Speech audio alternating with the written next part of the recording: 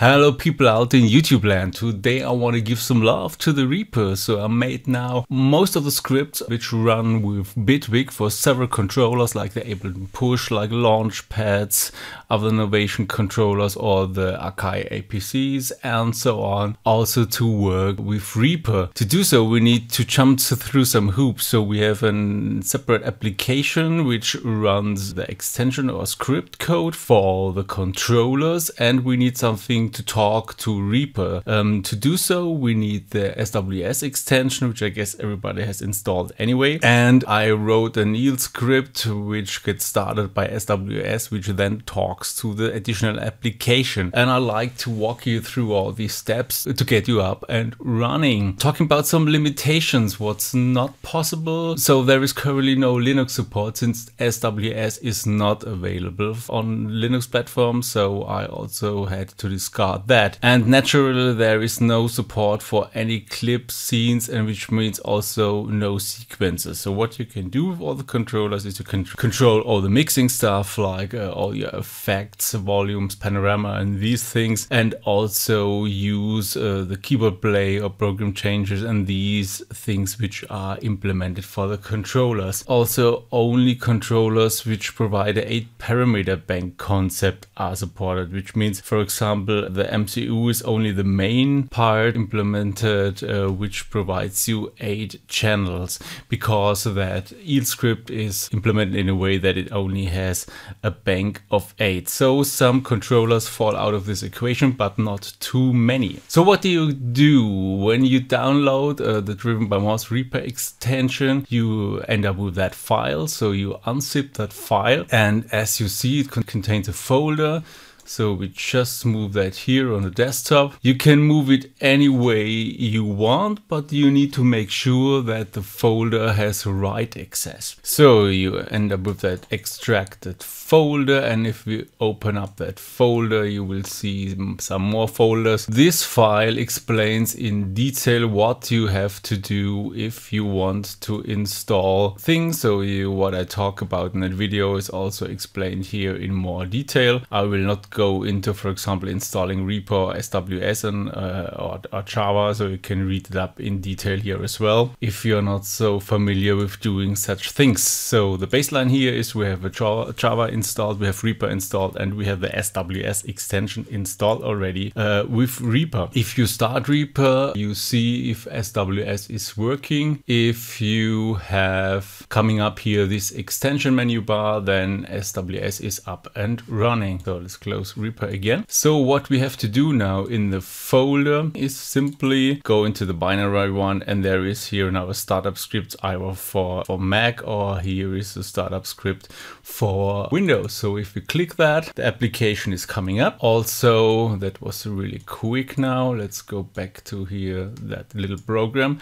What you see up here, this is path to your Reaper software. If this is configured correctly, you will see also Reaper is coming up automatically. So you only have to start one application and not two separately. And you can also choose if you want to have that, that it starts automatically. You can also turn it off. Then you can manually click on run or start Reaper separately, however you prefer. Uh, this is the communication part, which talks to the Reaper, but you also would need to, to modify that in a EEL script, which I will show you also in a second. If you would need to change that and for any reason on your computer, this port might be already in use, which I think should not be the case. Um, so basically you don't need to set up anything here, only if you install Reaper to a different location than the suggested one in the installation, then you would need to change that as well. So far we had nothing to do, just only started. And the thing we need to do is if we go now into the actions, we need to configure that script. We go to show action list. Now you can here add a script. So let's click here on new. And now we need to navigate to our download. Here we are in the EEL folder. There is nothing here because you need to change here to EEL. And then you will see here is a driven by Moss main. So this is our main script. This includes the other scripts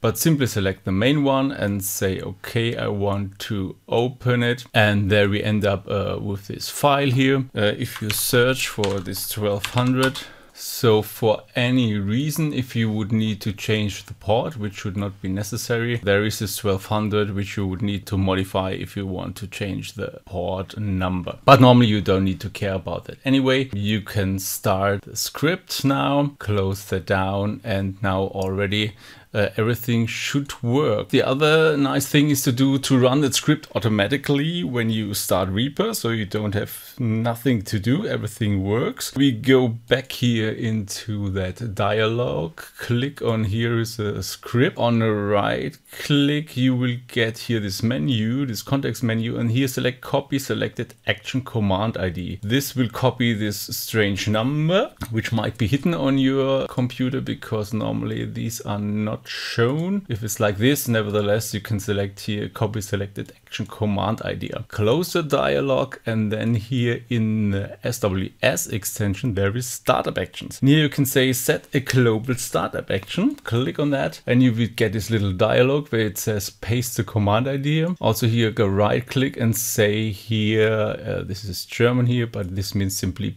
paste. Confirm that dialog and then it says, okay, this is your new startup action we now run Reaper, run it again from here. The script should be automatically being started and you can see that for example if you go here and say run it says okay I'm already running so you can confirm it like that. So we have that script automatically running in the back. That's all you need to configure is attach that script and make sure that it runs automatically. Now we need to add the controllers we have. Here you see your configured controllers. Here you see any logging information if something might be wrong or what's going on. Here we have this add button. So these are all the controllers which are supported here. Um, let's for example choose the Ableton Push 2 and then this controller will turn up and what you see already here in the video it already gets initialized and is working. It tries to find out automatically all the connection information. If not you can select the manual here in this dialog.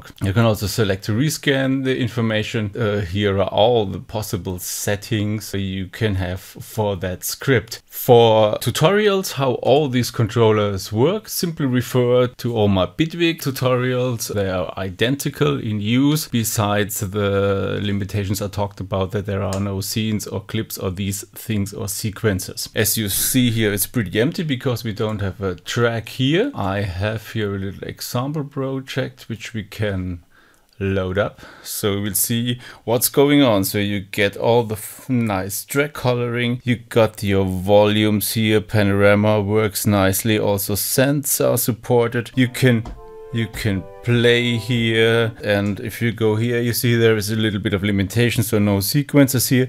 But you got this play view and also this uh, piano view if you prefer that. And also uh, yeah clips changes are and program change view is here supported and these things. So there's quite a lot of stuff working so all these knobs are working here so you can do a playback record and all these things. Just simply refer to my other tutorial videos for the specific controllers. What else do we have here? Uh, beside the settings, you can remove again a controller and you can turn up the configuration another word of warning. You can add as many uh, of the controllers you like, but I noticed that this EEL script is pretty weak as a backend and is also not multi-threading safe, so we get some screw up if we add several controllers. So best is to run only one. You can experience if you only press buttons on, on, on one of the controllers. It should also work nicely, but uh, yeah, do some experiments and it's definitely not the best solution to go. And if someone wants to write a better